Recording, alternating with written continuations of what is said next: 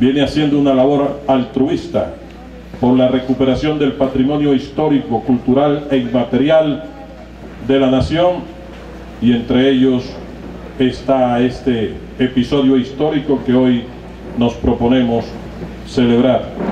El doctor Francisco Valle está con nosotros, lo invitamos a la mesa de honor. El doctor Francisco Valle Cuello es un hombre que ha luchado mucho, mucho por tenernos a nosotros enterados de lo que ha sido la historia de nuestro querido departamento y municipio.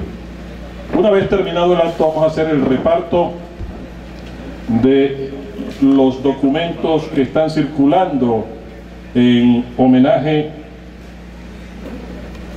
de este importante centenario. Y como aporte a ese centenario, el señor alcalde ha hecho la publicación de unos comentarios que son también aporte a la recuperación del patrimonio histórico inmaterial del municipio de Agustín Codazzi, Cesar. Esta es una obra que va a caminar y que va a estar en todas las bibliotecas del país. Lo vamos a entregar como un aporte a lo que el alcalde considera que es su misión.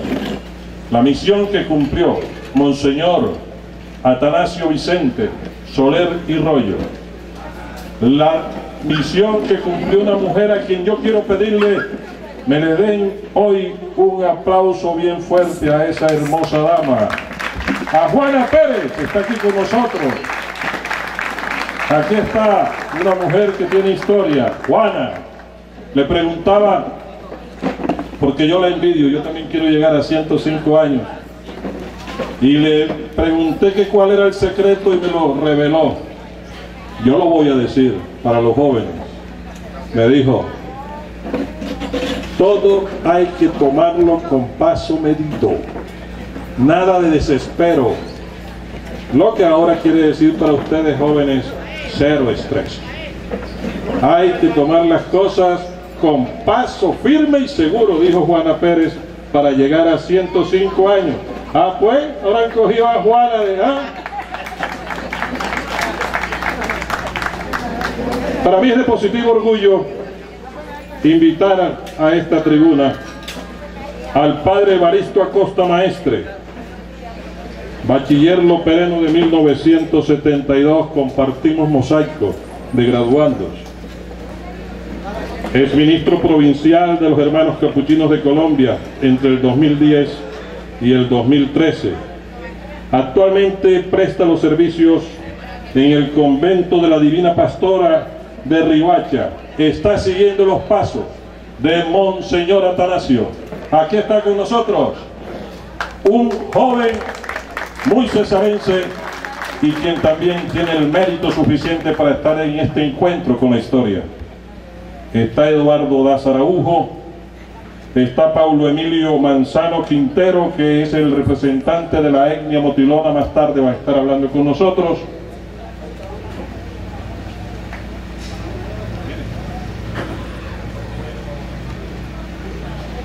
También ha hecho parte de esta historia desde la dirigencia nacional. El doctor Miguel Geneco Hernández, acompáñeme. Señor es parlamentario, es alcalde de Valledupar, hijo preclaro y adoptivo de este municipio. Y próximamente nosotros vamos a inaugurar unas obras, entre las que se destaca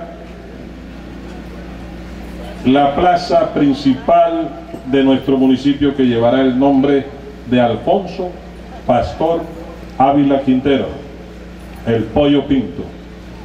En su representación vamos a invitar aquí a la mesa de honor a Napoleón Ávila, a Napoleón Ávila quien también nos acompaña en esta mañana.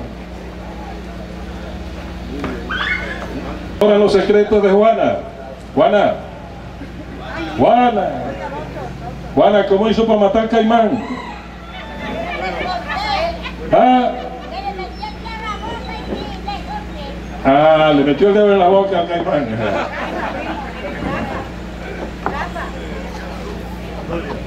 Yo quiero recibirlo con un aplauso que se, que se siente en la serranía del Perijá. A paso lento y seguro, como dijo Juana, llega Julio Ávila Panega, 103 años de vida. Honroso para nosotros, coacenses.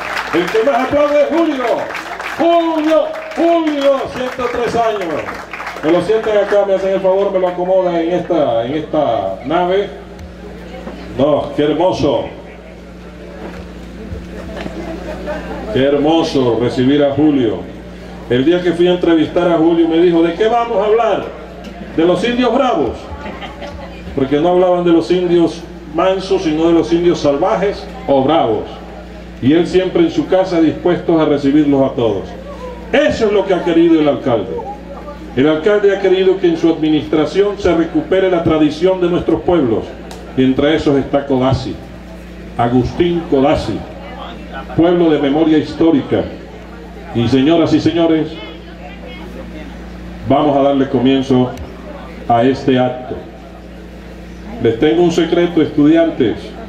Pónganle atención porque lo que se hable aquí va a ser materia de los próximos quiz que van a presentar ustedes en historia. Así que los advierto. Lo que diga el padre Baristo lo van a meter en los próximos test de los quiz. Señor alcalde, buenos días e iniciamos este conversatorio que quedará en la memoria histórica de nuestro municipio.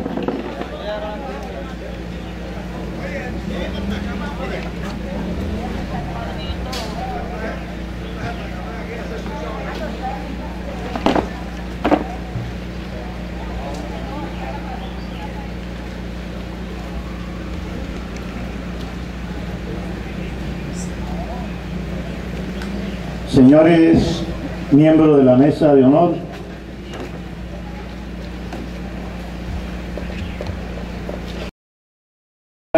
Juana Pérez,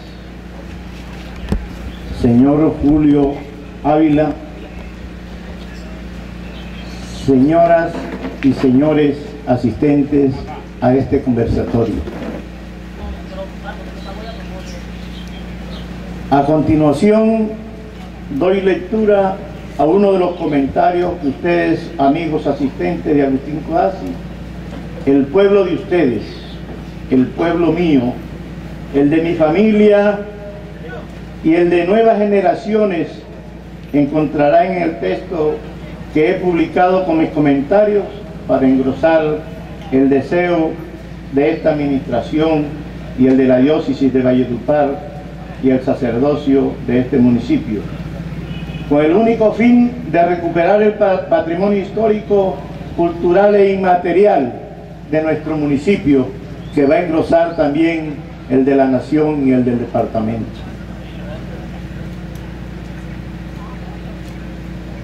Este patrimonio histórico de nuestro municipio, el cual está enmarcado en los episodios de los expedicionarios que dieron origen al centenario del milagro de nuestra santa patrona, la Divina Pastora.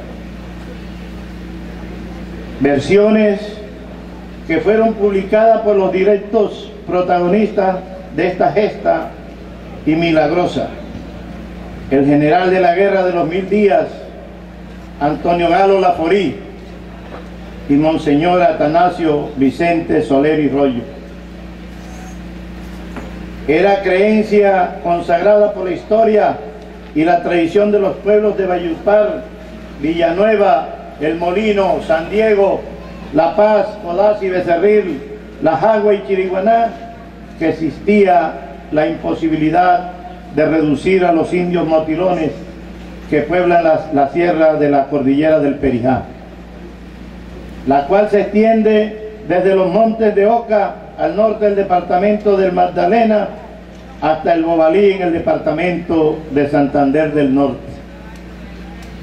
Se decía que estos indios en tiempo de la colonia tuvieron algún principio de civilización y hasta el año de 1860 estaban en trato con los civilizados de los pueblos mencionados en dicha serranía. Prueba, de ello fueron algunas palabras que de estos indígenas conservaron los más viejos de la población de Agustín Codazzi, aprendida de sus abuelos, y una moneda de plata que encontraron a una indígena acuñada en el año de 1806. Lo cierto es que desde mediados del siglo pasado, los motilones han permanecido ocultos y emigrantes en la serranía del Perijá, esquivando todo trato con los civilizados y si por desgracia alguna vez se han tropezado en el camino, indios y blancos, ha sido para matarse. Todas nuestras tentativas hechas en los primeros años de misión a fin de conseguir la entrada en la región de Motilones fracasaron por falta de acompañamientos sin la cual creímos temerle nuestro proyecto. Decía en ese entonces Monseñor Atanasio Vicente Soler y Rollo que el año pasado vimos a los habitantes de Codazzi como campo preparado para echar la semilla y lanzarnos la idea en ocasión de la visita pastoral, la cual arraigó colmando nuestras aspiraciones. El día primero de marzo, después de implorar en la iglesia de Codazzi la protección del cielo, la protección del cielo, entre víctores y aplauso salió la expedición compuesta de 200 hombres organizados militarmente con sus respectivas compañías de vanguardia, custodia, zapadores, proveeduría y Estado Mayor. Nuestra labor se concretó en esta ocasión a explorar la ruta que habíamos de seguir para encontrar los indios, abrir camino, levantar ranchos y sembrar las rosas que encontrábamos preparadas para el cultivo. En los primeros días de abril regresamos sin haber sin haber lamentado el menor contratiempo, a pesar de los muchos peligros y amenazas de que nos vimos rodeados frecuentemente y con la satisfacción de haber dado a los indios grandes muestras de paz y cordura con los obsequios y regalos que les dejábamos en los ranchos que encontrábamos a cada paso. Más adelante se renueva la expedición. Era tanta la fe que teníamos en la bondad de la obra evangelizadora de aquel entonces que en el mes de julio del mismo año Venciendo dificultades poco comunes, organizamos nuevamente la expedición y nos internamos en la serranía por Piedra Pará hasta la duda, con 150 hombres cuyo comando militar pusimos a cargo del general don Antonio Galo Laforí, actual jefe de la sección de gendarmería acantonada en Codazzi.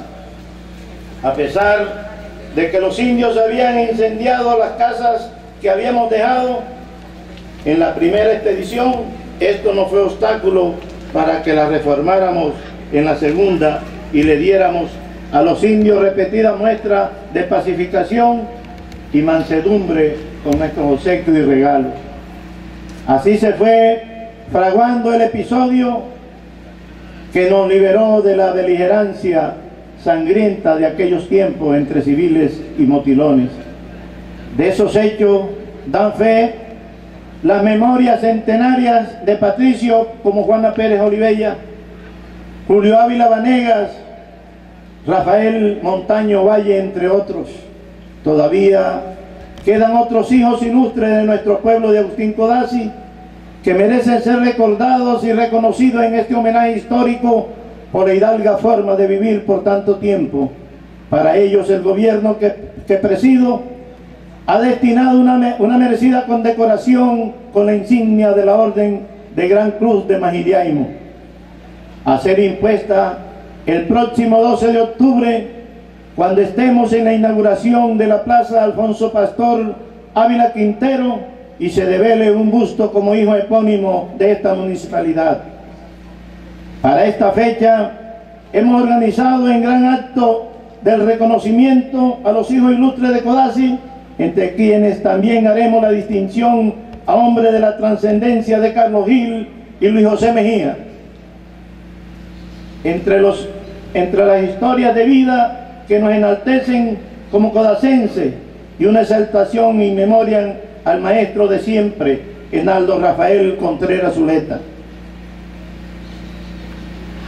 Amigos, paisanos codacenses, he querido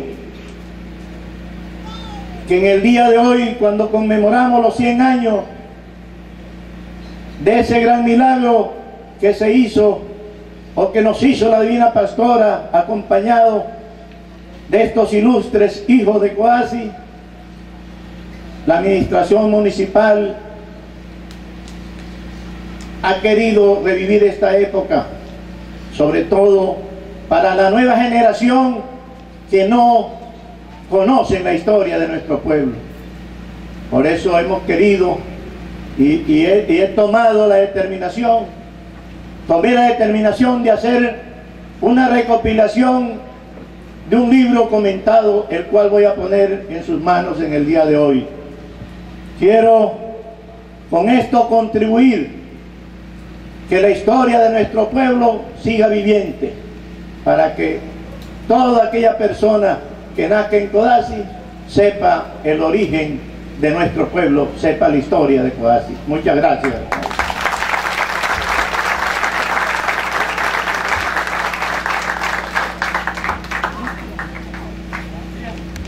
Quiero hacer una observación.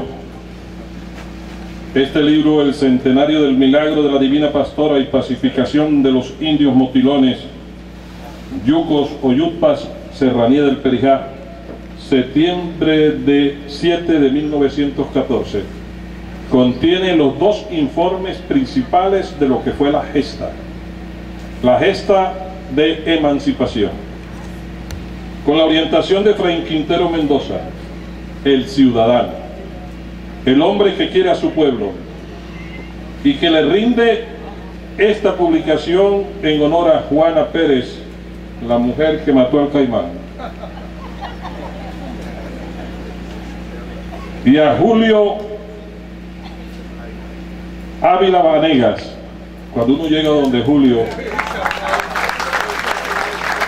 comadre Juana, un saludo cordialísimo, respeto mi aprecio por siempre.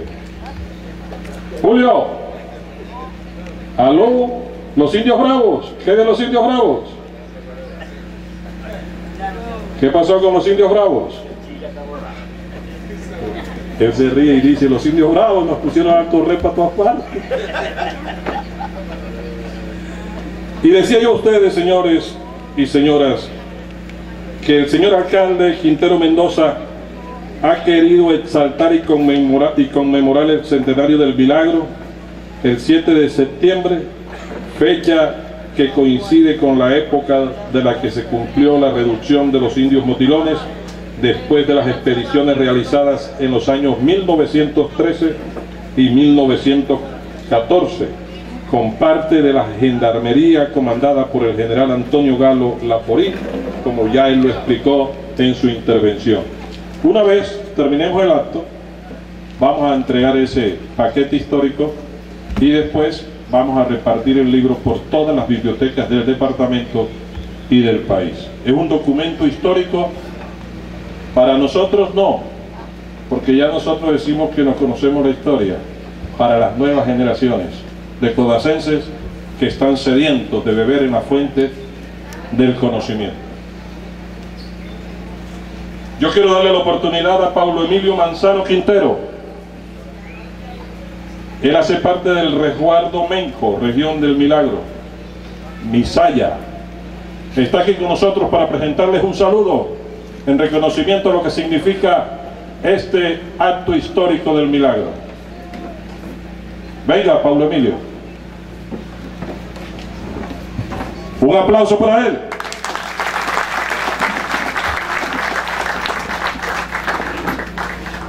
Hola, buenos días. Eh, en este momento de los 100 años que han pasado de bases entre Guatille y Yupas, le seguimos agradeciendo a todos los a todos los guatillas, a todos los codacenses y más a los yupas que también conozcan. En este momento no están, se fueron todos, están en la casa y me mandaron a mí solito para acá. Pero en estos 100 años que se han de han pasado eh, ya el siglo y todavía se recuerda, pero ya muchas cosas las han olvidado o las hemos olvidado entre Guatilles y Yucpas también. ¿El por qué? Porque cuando en esa época no necesitábamos de venir aquí a pedirles un regalito, las personas que mencionaron, esas personas la iglesia católica de aquí de Codazzi, de nuestra mamachí pastora, con quien conquistaron a los indios, a nosotros los indios, aquellas personas anteriores que vivan en nuestros corazones y que pase a la siembra de los niños. Yupa y Guatilla, ambos conozcamos las historias o la historia que en tantos años hemos retenido y seguiremos reteniendo y sigámoslo reteniendo para que en aquel futuro que viene también lo conozcan y lo celebren por igual. Porque a pesar de un siglo ya la mayoría de personas sea guatilla o sea yupas han muerto. Ya son difuntos. Las historias quedan contadas por cada quien de unos padres a los hijos porque allá no se escribe con, lápiz, sino con la memoria. Sentados con los niños contando las historias. Y así aprendí yo a eso. Más mi mamá, Sara Isabel Quintero, ella nos traía cuando niños, cuando eso no había ni carreteras.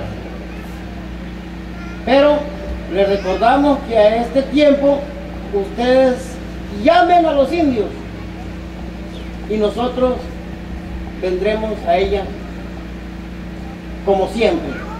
Muchas gracias, Palacio.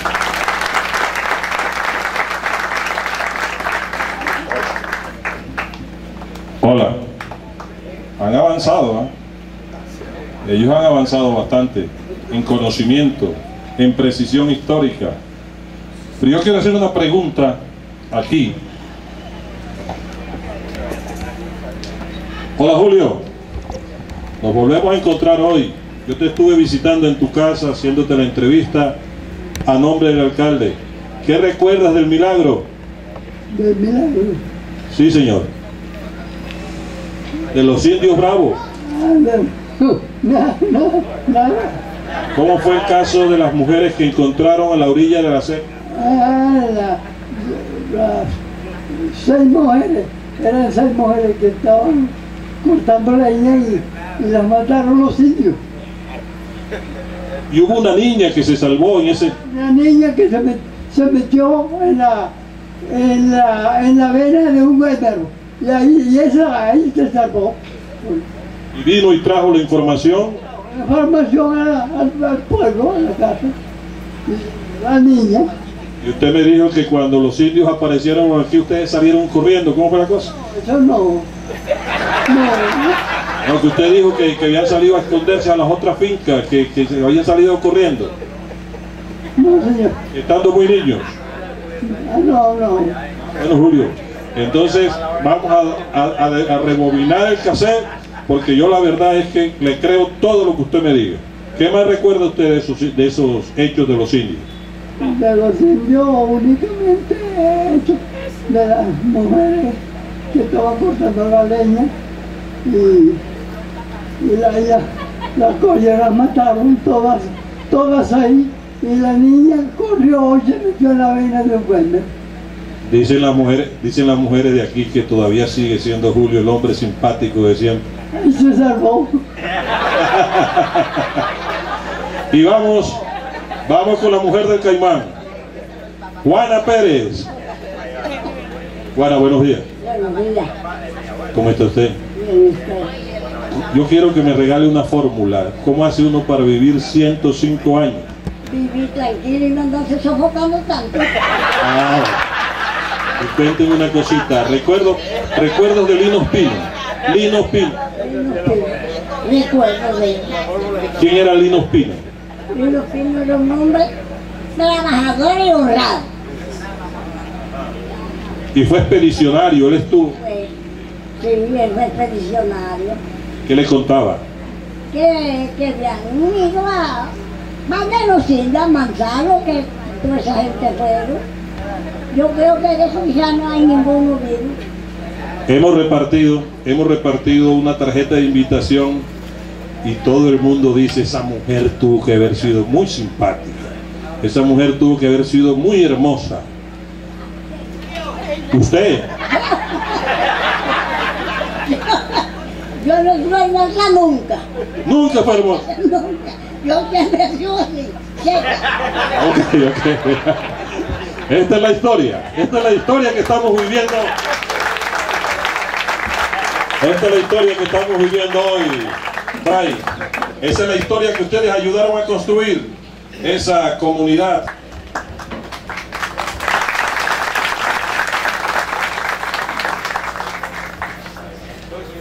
Para todos, un cordial saludo franciscano de paz y bien. Al doctor Efraín Quintero Mendoza y su digna esposa, un cordial saludo y gratitud por esta invitación. La he recibido con mucho cariño de parte del colega de estudios, compañeros de el último año de bachillerato en el Operena, 1972, hagan las cuentas, teníamos 17 añitos y ya nos volvemos a encontrar aquí en Codazzi. A los integrantes de la mesa, a los estudiantes, a todas las personas que hoy nos acompañan, reciban afectuoso saludo. Y comienzo eh, esta sencilla intervención con una anécdota. Se maneja mucho en los círculos nuestros, en la comunidad capuchina, una historia que aconteció a Monseñor Atanasio viniendo desde Rihuacha hacia el sur. Venían en esa expedición varios capuchinos acompañando al obispo, que era vicario apostólico, y otras personas que les acompañaban. Y el fraile que quería pedir el hospedaje en distracción, la distra, en horas de la noche llegaron, tocó la puerta el fraile, y esto lo, lo decimos con todo el respeto a la memoria de Monseñor Atanasio, pero fue histórico. Dijo el fraile, mire, aquí venimos con el ilustrísimo y reverendísimo Monseñor Atanasio María Vicente Soler y Rollo de Manises, vicario apostólico de la Guajira, Aruacos y Motilones. Y la señora de dentro dice, aquí no hay cama para tanta gente. Con todos esos títulos, lógicamente ya comprendemos la extensión del territorio al que le correspondía a él atender como buen pastor. Monseñor Atanasio despliega toda su energía desde Rihuacha extendiéndose hasta Chiriguaná en el sur de nuestro departamento. Como buen franciscano, Y por ser franciscano, tenemos que referirnos a San Francisco de Asís. Tenemos que ir a la fuente de nuestra espiritualidad y de nuestro quehacer apostólico, evangelizador. En la regla que nos dejó San Francisco de Asís, estoy hablando del año 1221, esta es una pregunta buena para los estudiantes cuando les pregunten de cuándo fue la regla de San Francisco. Año 1221, dice él, sobre los misioneros. Los hermanos que van a las misiones pueden comportarse espiritualmente así.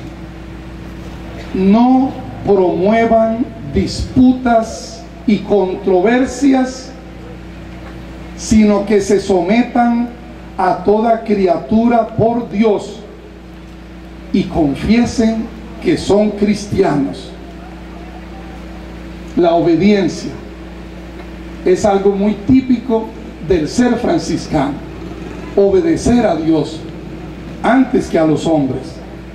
Y no promover litigios, controversias, discusiones, sino ser como ovejas en medio de lobos.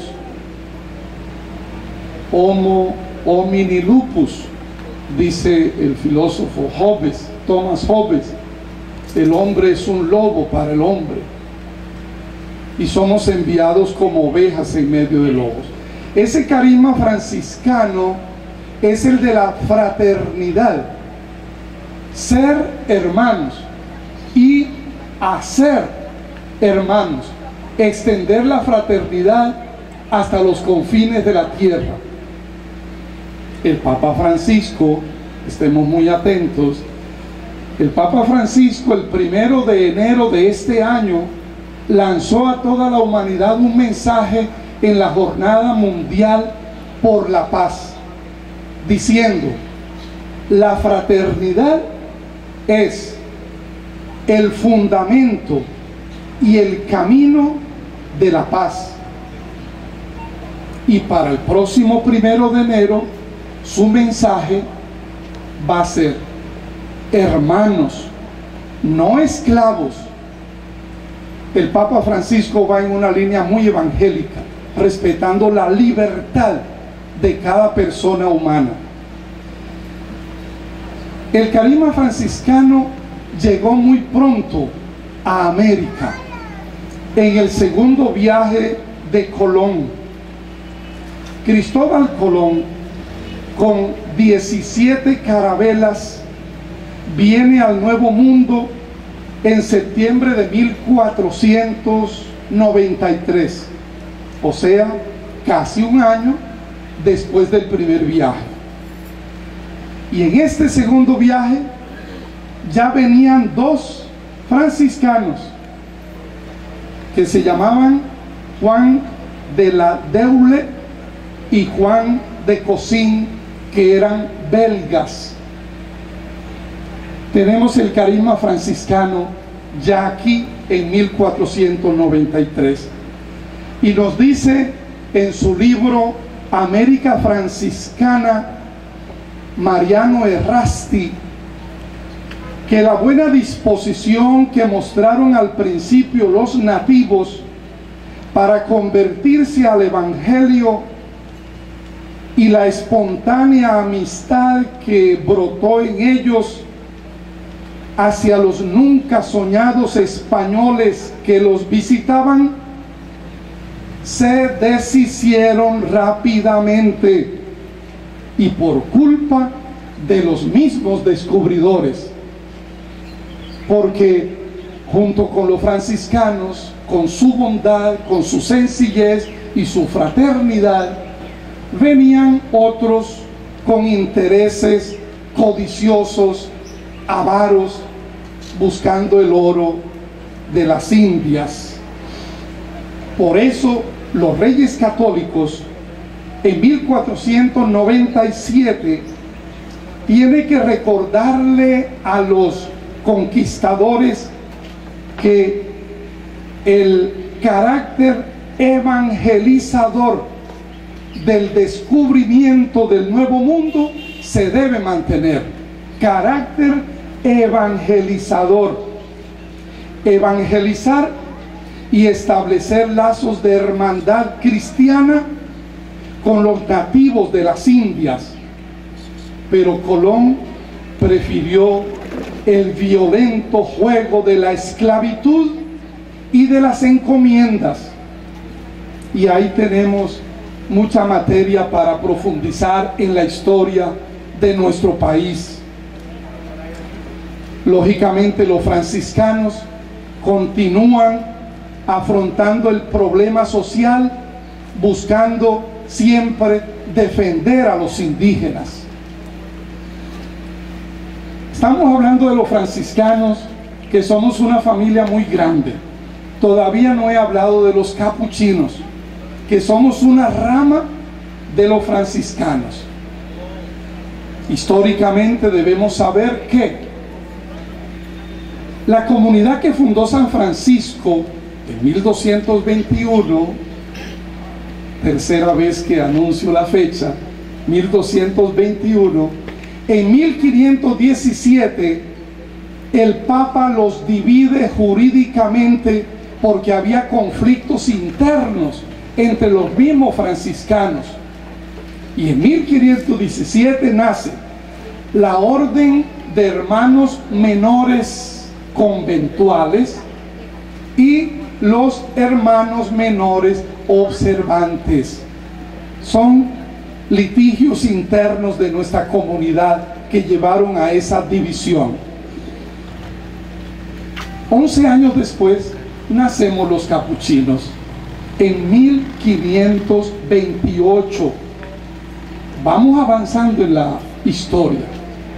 Porque tenemos que saber que los capuchinos llegaron acá solamente en 1647. Llegaron al Darién, al Urabá. Por eso el Chocó es tan franciscano. Las fiestas de San Pacho Bendito, el 4 de octubre, son muy sonadas en todo el país.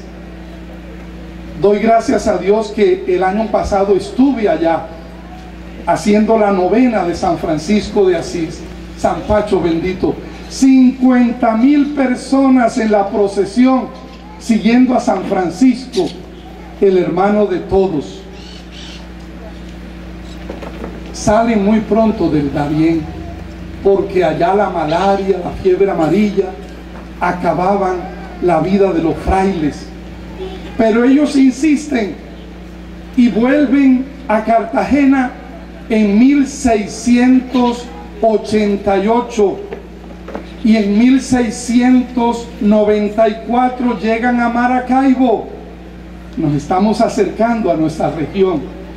Ya están por llegar aquí a nuestra región los capuchinos y entre otros Gregorio de Ibi, Eulogio Sudaire en esta historia capuchina nos relata el martirio de Gregorio de Ibi en estas serranías del Perijá hacia el año 1688.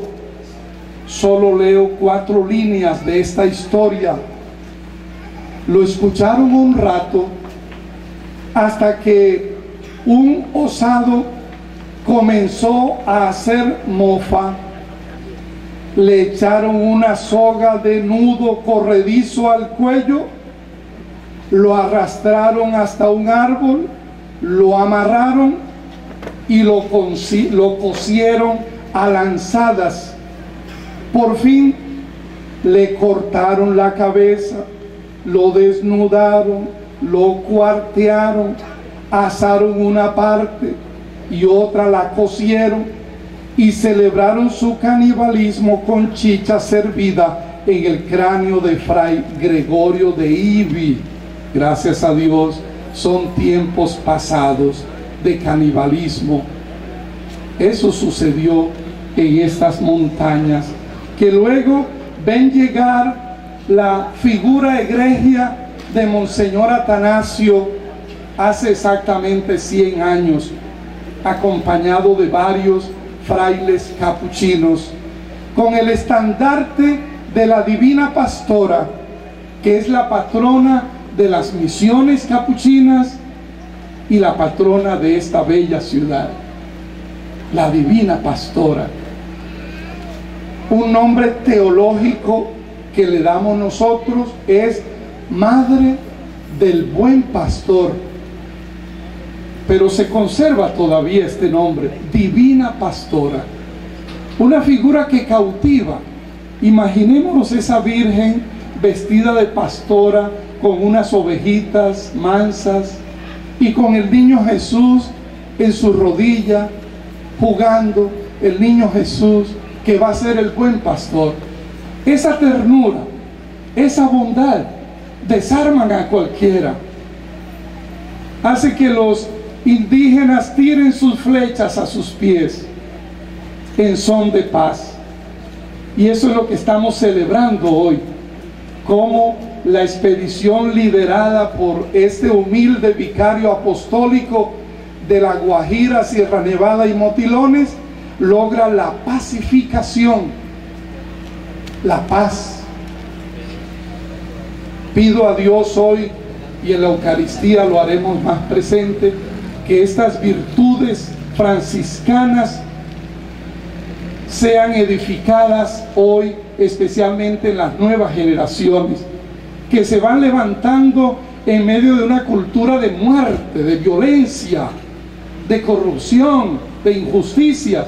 Todo eso debe cambiar, sembrando una jerarquía de valores donde prime la paz, la bondad, la ternura. Llevo exactamente 12 minutos.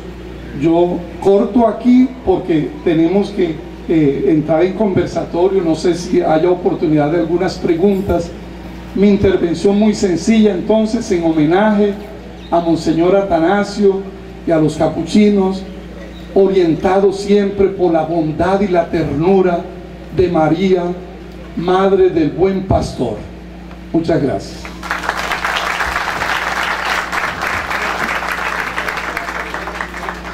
Iltra Costa Medina.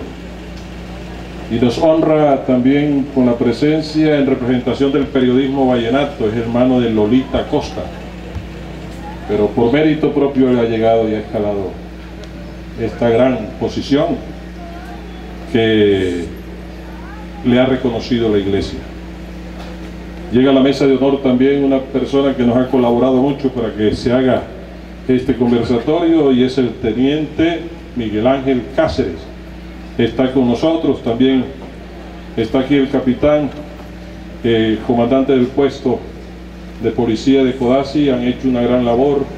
El Consejo Municipal de Codazzi está aquí. Y no puedo pasar por alto la importancia que tienen el día de hoy en esta esquina las familias de los cuatro puntos cardinales que enarbolan este sitio donde estamos nosotros hoy. De manera especial la familia Corso Hinojosa, Yadira. Un abrazo bien fuerte de hermandad.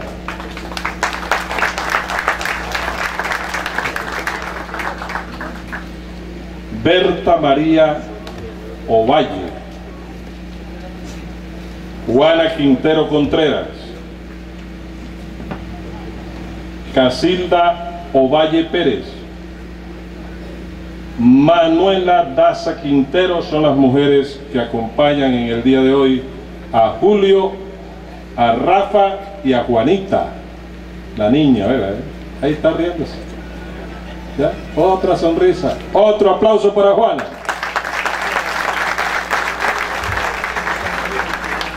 Alcalde, gracias por hacernos vivir este momento tan agradable. Aquí hay un hombre que sabe historia también. No se quita el sombrero y me ha traído una lista de expedicionarios que es bastante extensa. Ramón Yede, Carlos María, Andrés Mendoza, Carlitos Melendro, Román Seiva, Cal, Calito Méndez, Pedro Girón, eh, el Chiconguero, Rafael Antonio, Miguel Pedraza, Samuel Linares, Alberto Simanca, Dagoberto.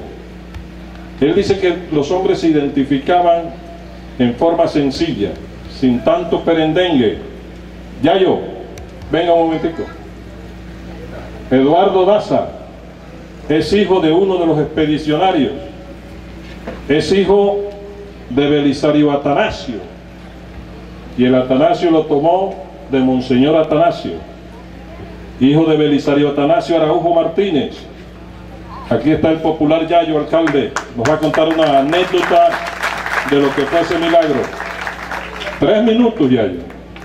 Comenzamos con Cerro del Milagro, porque no hay tiempo. Del Cerro del Milagro Pero empiece, empiece nuevamente. comenzamos del Cerro del Milagro para acá, donde se aconteció el milagro. Veían pasar una paloma que volaba y volaba y volaba y volaba. Se dice que era la Virgen. Bueno, eso sí no lo, no lo. Cuando se vinieron a Codazzi, o sea, al viejo pueblito del Espíritu Santo, que llegaron a la sabana del Tutumito.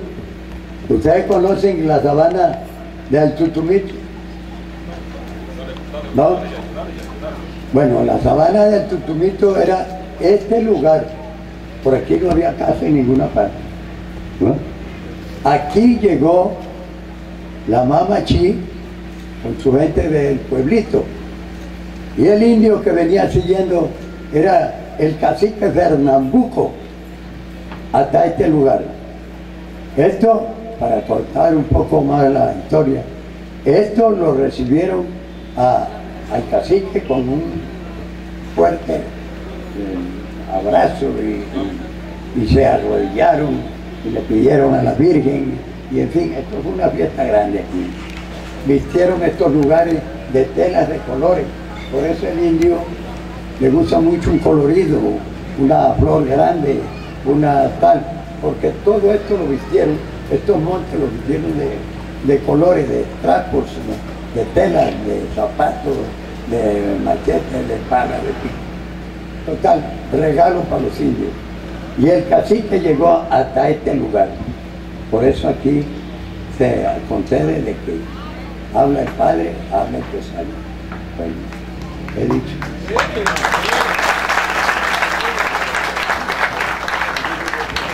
No, resultó más corto de lo que yo esperaba. Venga, ¿por qué le decían amansadores? Amansadores porque amansaron los indios. Pero ellos partían aquí con el, con el, ¿cómo le diría? Con la petición de que amansaran. Que iban a amansar los indios. Otra anécdota, otra Voy anécdota. a contar un pedacito más allí. Cuando llegaron allí a lo- al, lugar de, al lugar de la duda, ¿no? Eso no lo conocen ustedes tampoco. El lugar de la duda. Se acabó el agua de tomar los animales y de tomar los eh, expedicionarios. Entonces, el obispo Atanasio dispuso atravesar el lugar este a ver si encontraban el río consiguieron el arroyo de la duda, hoy conocido como el arroyo de la duda. Entonces, Belisario Martínez y eh, Pedrito Marcelo, ¿Quién era Belisario Martínez? mi viejo padre, Pedrito Marcelo eh, dispusieron, le dijeron al, al obispo, señor obispo, uno metiéndose por aquí consigue el río allí mismo. Entonces vamos y nos abastecemos de agua para nosotros y los animales. Con cajas de, de madera la llenaban y la cargaban en los animales. Eso así fue. Pero hallaron un arroyo a, los, a las 30 brazas. Hallaron un arroyo. Y dijeron que este no era el río. Ese es el río, no es el río. Sí es el río, no es el río. Y formaron una disputa. Entonces, ¿qué pasó? Belisario Martínez y Lino Ospino, marido de aquella señora que está allí, Juana Pérez, dispusieron de ir más adelante. Y fue cuando consiguieron el río Espíritu Santo. Gracias, Yayo. Muy amable. Entonces, por eso le llamaron la duda, porque había duda.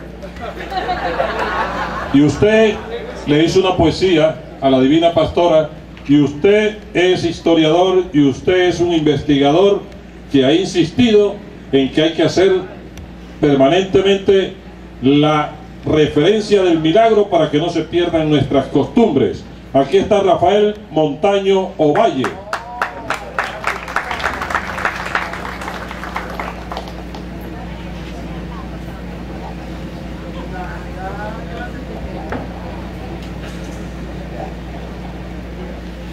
Un saludo para todos los hijos de Codazzi, naturales y adoptivos.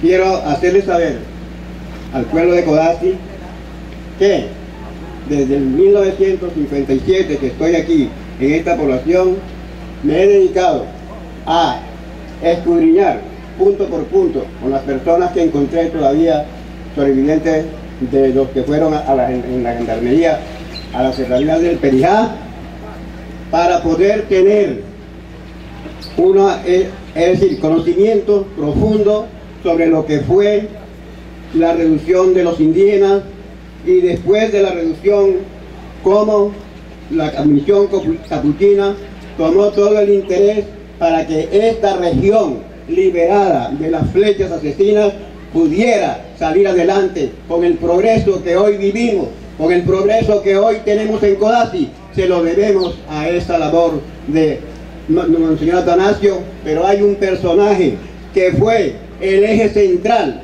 y Monseñor Atanasio fue el motor impulsor para llevar a cabo este acontecimiento que hoy celebramos. Se trata del personaje, el general Antonio Galo Laforí, quien fue el primer iniciador el que tomó la iniciativa para, para excursionar las montañas del Perijá y hacer el contacto y la reducción de los indígenas. Para ello he preparado una poesía dedicada especialmente al pueblo de Codazzi y, y, en especialidad a la Divina Pastora. Pero por ser tan larga, de 19 estrofas, vamos a hacer únicamente unos resumen. La primera dice, Codazzi, aunque los enemigos del recuerdo traten de ahogar la historia, cambiando el rumbo a lo que fue su, su, suerte, no la podrán borrar de las memorias, ni con la ingratitud, ni aún con la muerte. Y si el amor renace de lo inerte y el ave del desierto de cenizas, yo aunque ignorado, estoy dispuesto siempre a defenderte, a ti y a tu sagrado patrimonio. No importa si los necios me critican o las amancebadas del demonio. Estas son las dos primeras partes.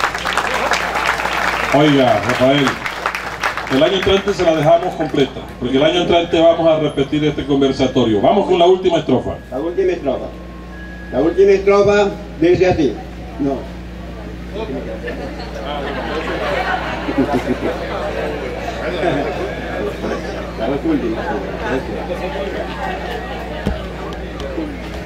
He querido sondear del milagro la historia, meditando en el tiempo, explorando el espacio, penetrando en silencio hasta el cielo infinito, contemplando a Atanasio en su trono de gloria, con su tierna mirada dirigida al pueblito, al pueblito que un día resaltar en la historia, al pueblito que un día coronara de gloria, al que quiso dejar resaltado en la historia, por quien cantó en la cima a la más, a la más, a la más linda aurora, la que, a la que dio las llaves como reina y señora, y que aquí veneramos la divina pastora. Gracias a Rafael Montaño Valle por esta intervención. Ya tendremos la oportunidad de publicar completa esta poesía que tanto significa. Dos notarios hay aquí hoy. Ya vamos al cierre. Que va a dar fe de lo que estamos haciendo históricamente hoy. Pero está el notario de la historia.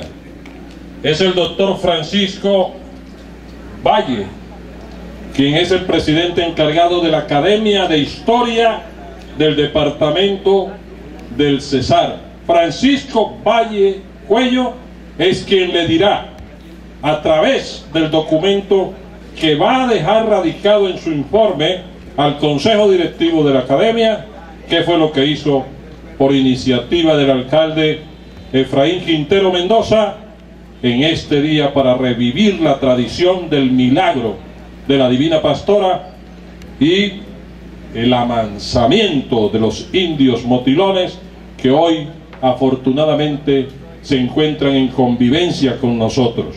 Un saludo cordialísimo al gabinete municipal, al consejo municipal y a los ciudadanos de nuestro pueblo y pueblos aledaños que nos han acompañado en tan magno evento y significativo conversatorio. Doctor Valle, Cuello, escucha Codas.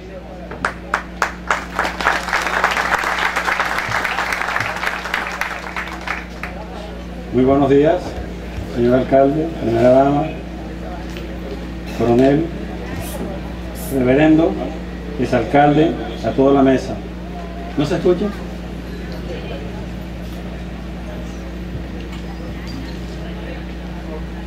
Gracias. Estoy encargado de la Academia de Historia de Valledupar con un proyecto regional. Señor alcalde,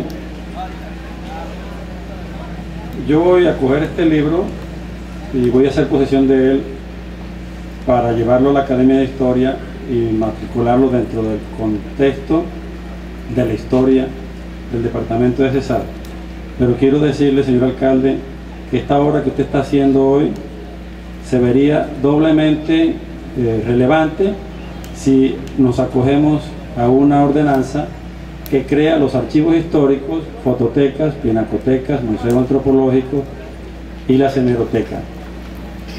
Codazzi es una ciudad en donde prima eh, la construcción de memoria y de proyecto con APROCODA. Es así como lo invito a que haga usted eh, uso de esta ordenanza, la ordenanza número 020 de 1999, por medio de la cual se crea el archivo histórico del departamento de San Pedro Castro Tres Palacios, la fototeca del departamento, la pinacoteca del departamento de Molina, el Museo Antropológico del departamento y la red de archivos históricos del departamento de Cesar. Quiere decir que sería el segundo municipio que empezara a construir memoria como lo manda la ley. Y tengo otra ordenanza que sería bueno, señor alcalde, que usted la conociera, la ordenanza 004 del 2002, por medio de la cual se crea el Jardín Botánico del Departamento de Cesar y la red de jardines municipales del departamento. Es pertinente, señor alcalde, resaltar que el, el auge del algodón arrasó con los bosques que nosotros manejamos en Codazzi y en el departamento de Cesar y es prudente a las nuevas generaciones decirles por qué es necesario proteger el medio ambiente para evitar el colapso de la vida en esta región. Que no nos llegue el, desierto y no nos aproveche, no nos, no nos derrote.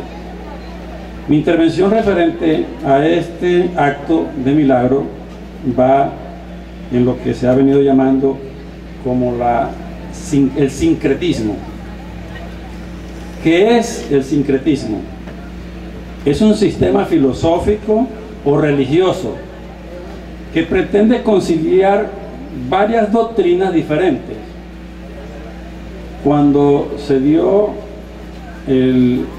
la presencia de los españoles en estas tierras, se notó una ambición y un proyecto cristiano religioso. Es así como eh, la espada fue un arma que abatió a los indígenas y si volteamos la espada, la cruz evangelizó a los, a los nuevos cristianos.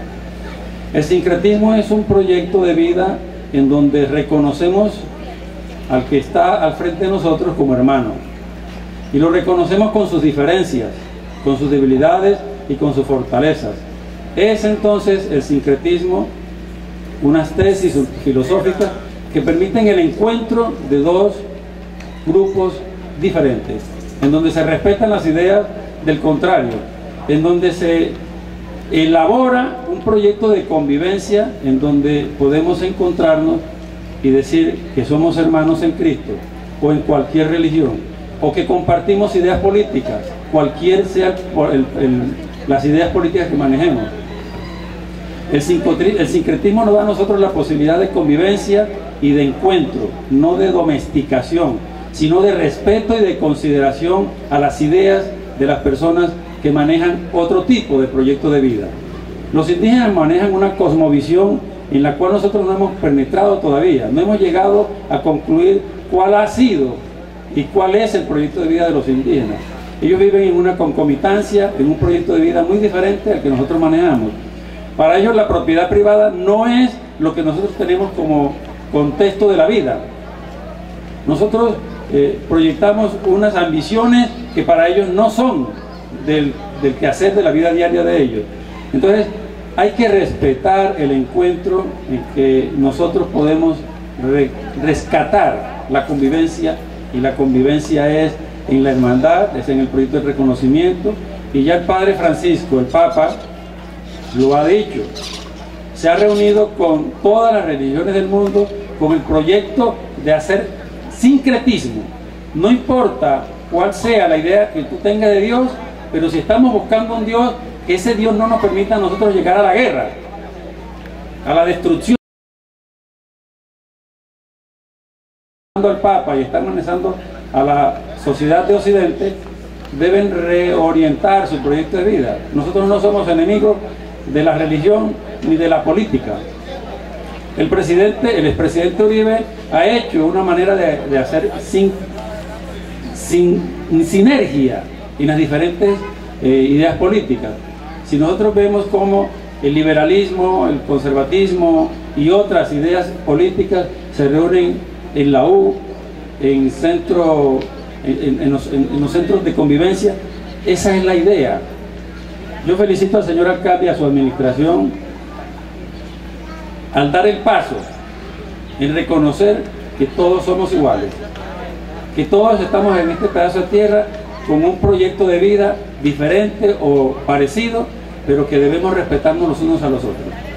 Tanto en política como en las cosas religiosas, debemos manejar el sincretismo para poder generar un proyecto de vida eh, mucho más loable y mucho más fértil en la construcción del humanismo y de un ser eh, que permita consolidar el encuentro eh, que tanta falta nos hace.